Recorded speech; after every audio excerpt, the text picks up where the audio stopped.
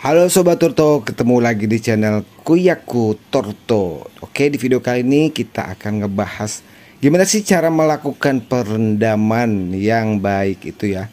Perendaman sekaligus penjemuran. Oke, buat yang baru menemukan video ini Jangan lupa support channel kami dengan mengklik tombol subscribe Dan aktifkan loncengnya. Tanpa berlama-lama, ini dia langsung videonya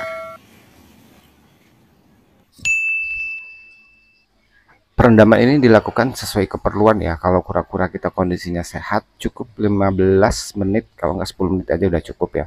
Yang terlalu lama. Tapi kalau misalkan kura-kura kalian ada gejala hidung mampet ya, atau lagi flu, sebaiknya jangan terlalu lama ya.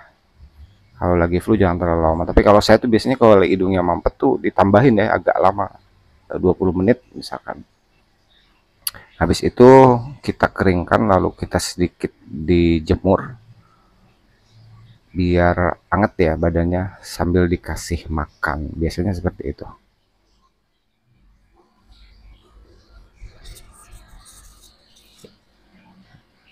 Ya sekarang kita akan keringkan dia ya teman-teman ya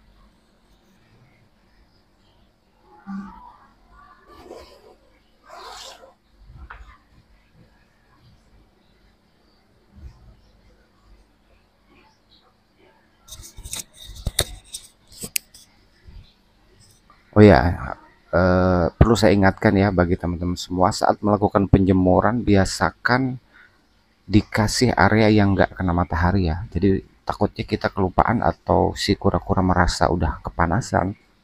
Jadi dia bisa mengakses wilayah yang enggak kena matahari ya. Jadi seperti ini.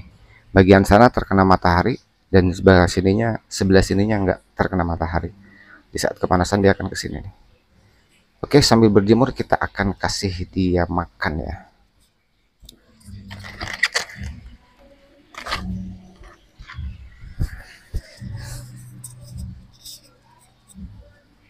saya sengaja taruh makanan di area yang panas ya, biar dia sambil makan sambil berjemur. Wah, enak ya, mantep ya.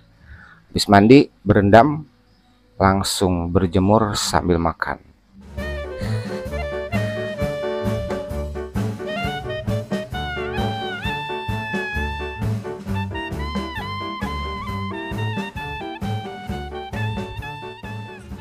Baik itulah salah satu tips ya yang biasa di kita kerjakan setiap pagi ya atau rutinitas para kiper tortok nih untuk merawat kesehatan kura-kura sulcata kita ya. Oke terima kasih sudah menonton. Sampai ketemu di video tips selanjutnya. Assalamualaikum warahmatullahi wabarakatuh